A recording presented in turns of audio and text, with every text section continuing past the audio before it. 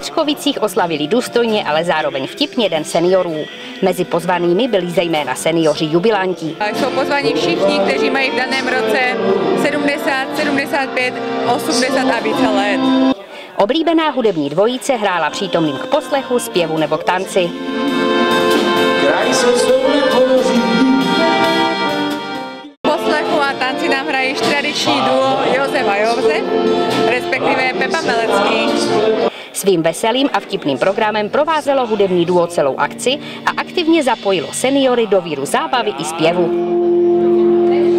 Jedno oku, to je drsné, budeme radši zpívat černouku, za tu horu.